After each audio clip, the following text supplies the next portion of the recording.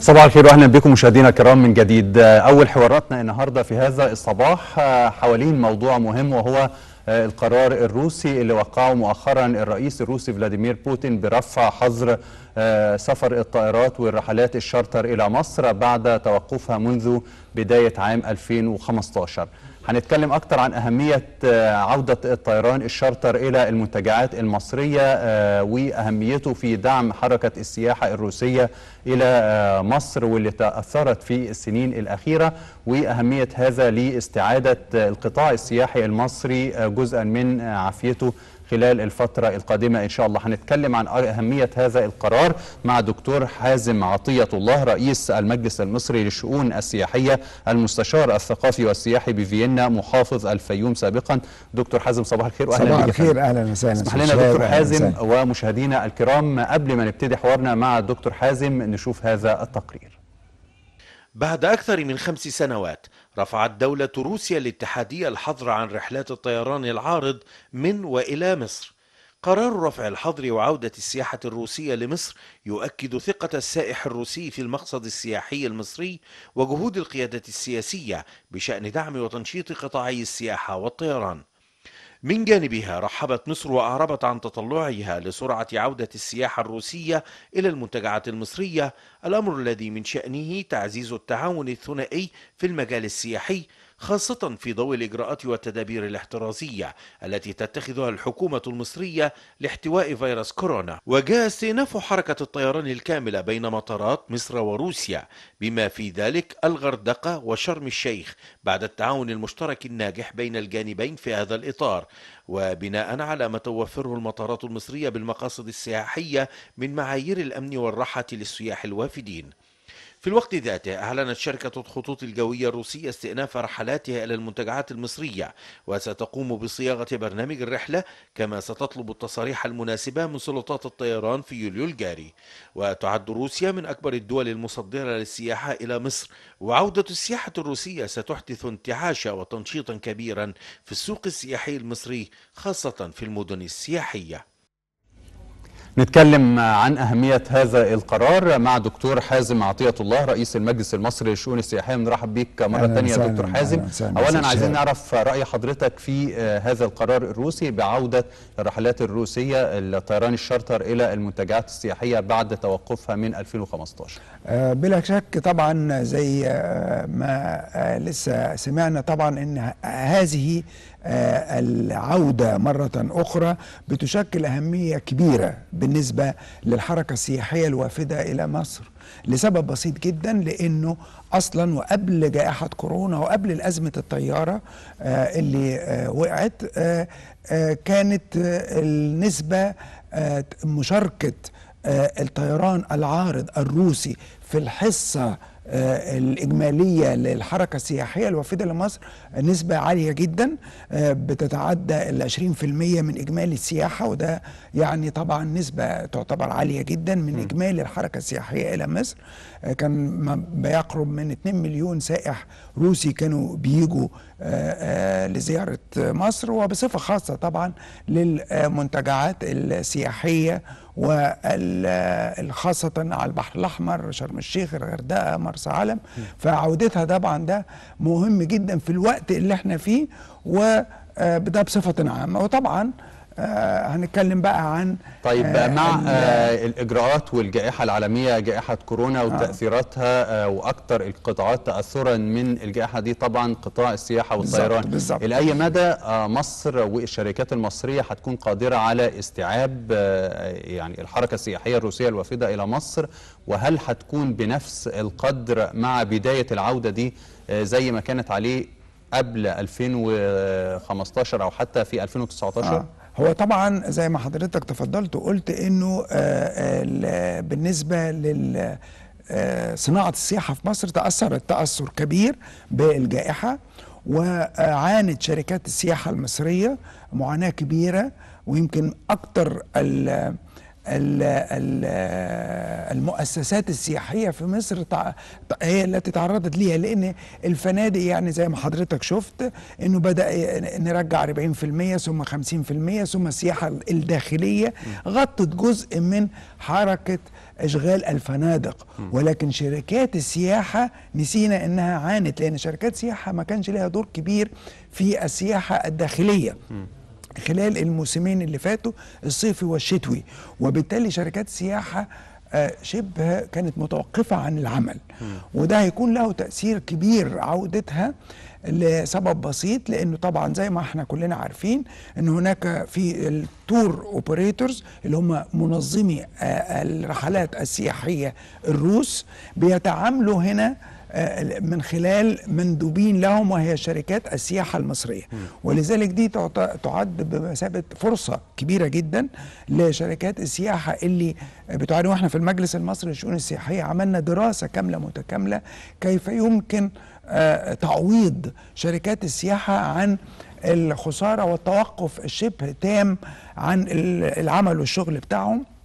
جاءت لهم دلوقتي الفرصة إنهم يبدأوا. يستعدوا إزاي؟ أو المفروض يستعدوا إزاي الشركات السياحية المصرية للتعامل مع السياحة الروسية المنتظرة في الفترة اللي جاية؟ آه طبعا ده مهم جدا.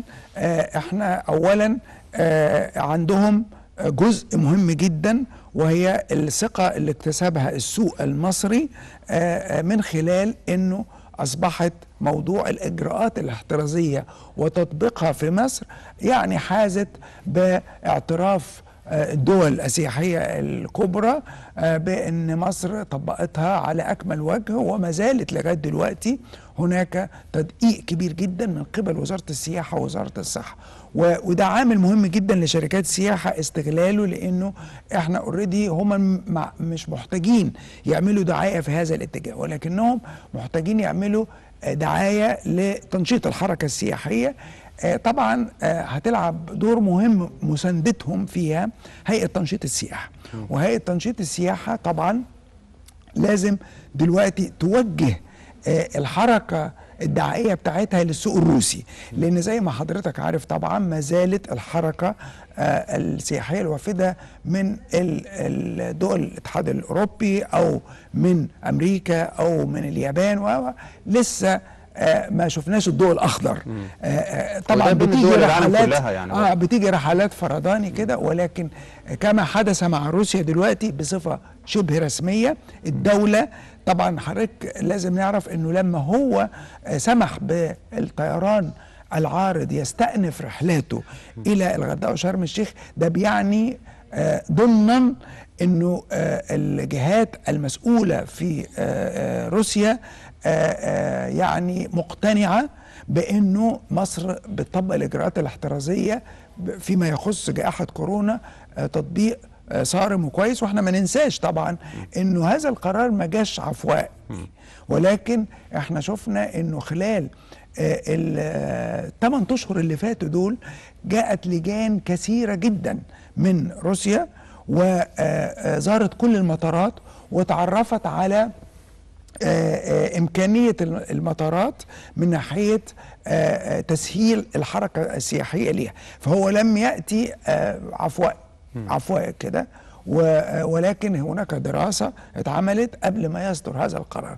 وده أنا أعتقد دي طبعا آه، آه، يعني شيء نهتم بيه ونستغله إحنا بعد كده آه، سياحيا للتسويق للسياحة الأوروبية. لأن طبعا نجاح دلوقتي هذه التجربة وإن تبدأ الوفود السياحية تأتي من الاتحاد السوفيتي إحنا عايزين ناخدها دي و- و- و- وننصح.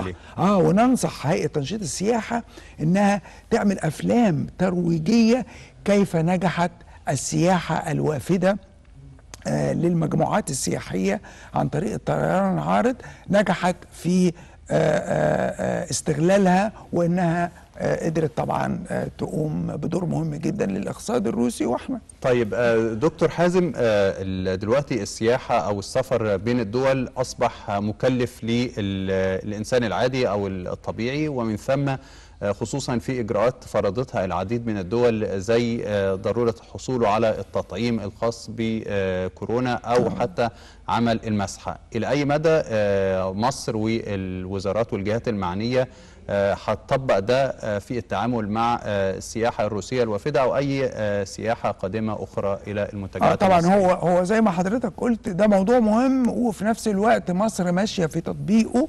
مصر بتطلب آه لكل سائح قادم يكون عمل التطعيم. ومعاه آه، مسحة تثبت إن هو خالي من آه، وليس حاملا للفيروس. آه، ده بتطبقه مصر وهتطبقه طبعا دلوقتي على السياحة الروسية وطبقته اوريدي في الشهور اللي فاتت القليلة مع السياحة ال- البسيطة اللي بدأت تيجي لمصر. مصر بتشترط هذا. وأنا أعتقد أنه هناك نية للتسويق لهذه المناطق اللي هي شرم الشيخ والغردقة بما نسميه بالجرين زون المناطق الخضراء. المناطق الخضراء آه، هتبقى شرم الشيخ والغردقة خضراء من ناحية إنها خالية تماما من أي يعني شك في إنه جائحة كورونا تكون سبب في إنه آه، السائح يتعرض ليها. من ناحية انه كل العاملين في هذا القطاع داخل هذه المدن آه، آه، اتطعموا ومعهم ما يثبت إنهم لا يحملوا الفيروس. ونفس الشيء الجهات المصرية بتطلب كل من هو قادم لإنه طبعا إحنا مش بس طبعا الخوف على انه يكون واحد جاي يحمل الفيروس على العاملين عندنا إنه السائح الآخر اللي جاي على طيارة تانية عايز يطمن إن كل السائحين اللي هينزلوا معاه في نفس الفندق ما إحنا ما ننساش إنه بتيجي آه، يعني مجموعات مختلفة. مختلفة وممكن بعد كده من دول مختلفة ويكونوا في نفس الفندق مع بعض فهو برضو السائح عايز يطمن إن السائح الآخر اللي جه هو خالي ولا يحمل هذا الفيروس. تمام. وإحنا بنتكلم عن السياحة الروسية معروف آه، يعني أغلبها آه،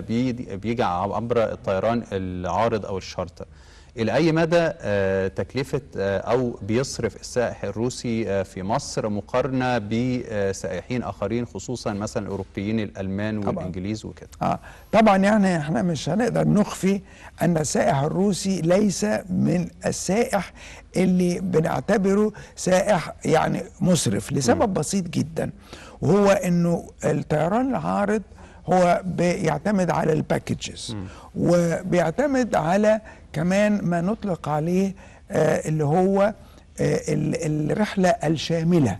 الشاملة لكل حاجة. يعني full board فطار غدا all inclusive شامل. آه، دي طبعا هي آه، بتفيد في الأعداد الكبيرة. فبتبقى ليها ربح هامش ربح عالي شوية. مفيد. ولكن طبعا ما ننساش إنه السائح الأجنبي آه، آه، بيعتمد على الصرف خلال الرحلة بتاعته. بمعنى إنه السائح الأجنبي حتى اللي بيجي شفناه آه، اللي هو بيجي من الاتحاد الأوروبي أو أو يجي شرم الشيخ أو الغردقة بيستغل وجوده ويعمل رحلات one day أو one night لرحلة ليلة أو يوم يروح الأقصر. من الغردقة مثلا أو في منهم اللي بينزل القاهرة لمدة ليلة ويرجع. ده طبعا بيدر دخل كبير لكل الجهات اللي بتتعامل مع هذه الحركة السياحية. آه، طبعا ال- السائح الروسي ما هواش من هذا النوع. ما هواش اللي آه، هو بيروح يقعد في الفندق بتاعه الأسبوع أو العشر أيام أو الأسبوعين في الغردقة وشرم الشيخ. الرحلة مدفوعة من الأول كاملة اول انكلوسيف زي ما بنقول. ولكن ميزة السائح الروسي حاجة تانية نسيناها وهو إن هو بيجي آه، المناطق دهيا صيفا وشتاء. يعني أقصد بيه انه السائح الروسي غير الأوروبي إنه السائح الروسي آه، ممكن يجي على مدار السنة كلها. بيجي في الصيف بيجي في الشتاء في الغردقة وشرم الشيخ ومرسى علم. بخلاف الأوروبيين اللي بيركزوا في فترة الشتاء من. أكتوبر لحد إبريل مثلا يجي آه. مصر. آه يجي مصر وكمان جزء منه بيحب يروح المناطق الثقافية السياحية الأثرية اللي هي الأقصر وأسوان ودلوقتي القاهرة والجيزة والمتحف الجديد اللي هيتفتح و و إلى آخره.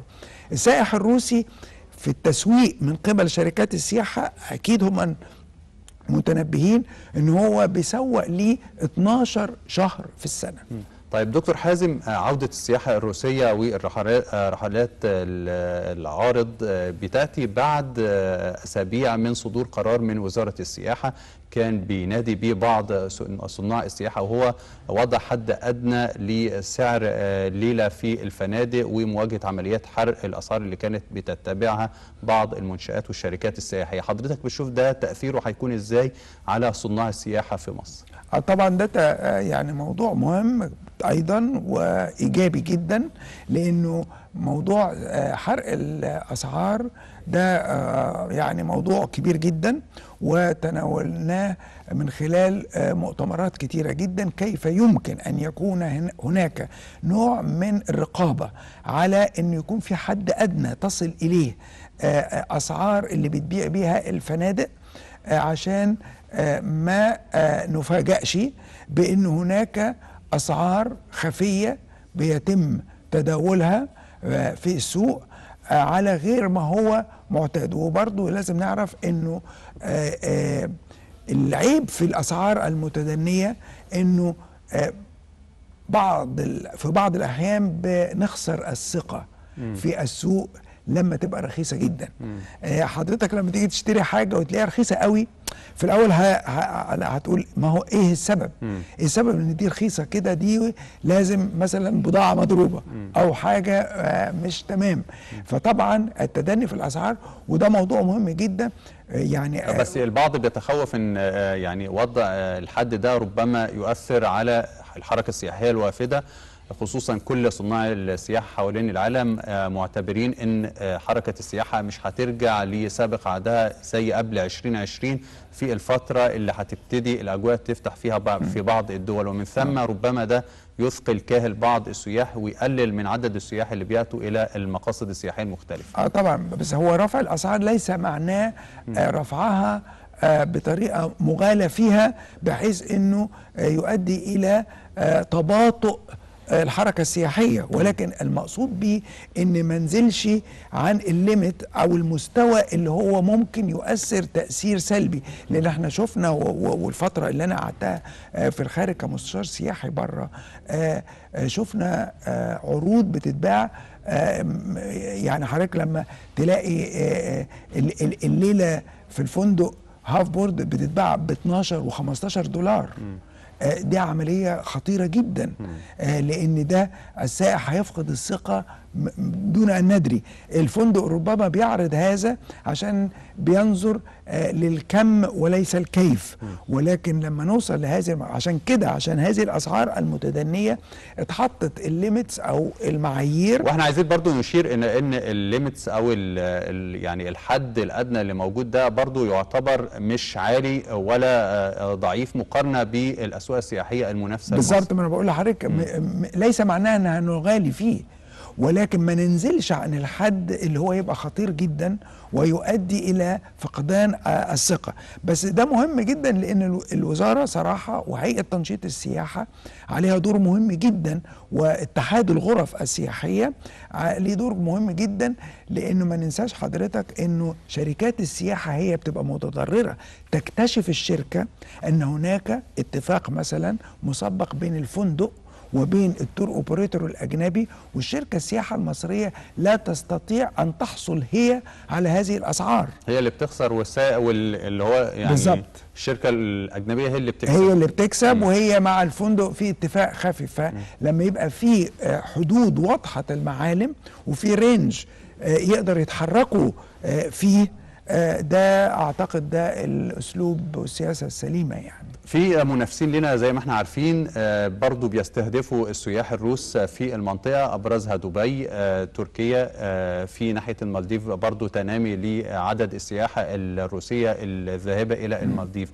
إلى أي مدى؟ بيعتبر المقصد السياحي المصري ما زال له آه، لا أهمية بالنسبة للسياح الروس ومفضل مقارنة مع الأسواق أو المنتجعات والمقاصد السياحية الأخرى المنافسة في المنطقة. آه طبعا هو دلوقتي حضرتك زي ما عارف طبعا تنوع السي ال ال السوق آه اللي هو آه سياحة الاستجمام آه على الشواطئ آه، إحنا عندنا طبعا مناطق عديدة جدا.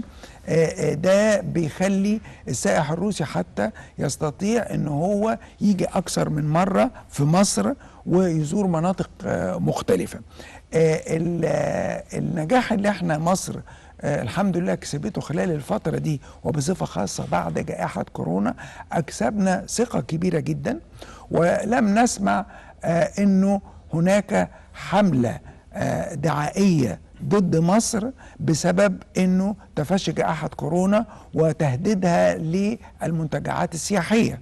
فإحنا كسبنا آه، يعني آه، ثقة كبيرة في الوقت الحالي وده هيفضلنا عن بعض الدول الأخرى. بس زي ما بقول أتمنى وده مهم دلوقتي بعيدا عن السياحة الروسية أن نستغل هذه الحركة السياحية الوافدة من الاتحاد السوفيتي من روسيا يعني آه إلى مصر في عمل آه آه تسويق سليم لدول أوروبا. وتاني بفكر هيئة تنشيط السياحة لازم تبتدي تتابع هذه المجموعات ويعملوا انترفيوز مع السياح الروس ويشوفوا إزاي هم بيقضوا وقت جميل في هذه المناطق لغاية ما يرجعوا تاني. هذه الأفلام لما ناخدها إحنا تبقى آه زي ما بنقول آه وثائق تستخدمها الحملة الدعائية لهيئة تنشيط السياحة في أوروبا وفي آه، أمريكا وفي اليابان وفي الصين. هتبقى لها مردود جيد جدا خاصة إن إحنا بنقول إن دي رحلات حاليا ونجحت بدور كبير آه، تمام. جدا. آه، دكتور حازم عطية الله آه، رئيس المجلس المصري للشؤون السياحية المستشار الثقافي والسياحي بفيينا محافظ الفيوم سابقا. شرفتنا وكل التوفيق إن شاء الله للحركة السياحية الأجنبية الوافدة إلى مصر في الفترة اللي جاية. وإن شاء الله شكراً. السياحة ترجع تاني تزدهر من جديد. شكرا سعيد شكرا عليك. جزيلا. شاكرين. شكرا. مشاهدينا بكده نكون وصلنا إلى ختام هذه الفقرة ولكن فقرات هذا الصباح لسه مستمرة معاكم. بعد الفاصل هنتعرف على أخبار المال والأعمال أخبار الاقتصاد مع عمرو عبد المجيد وبعد أخبار الاقتصاد هنوصل لآخر حواراتنا في هذا الصباح مع آلاء حامد.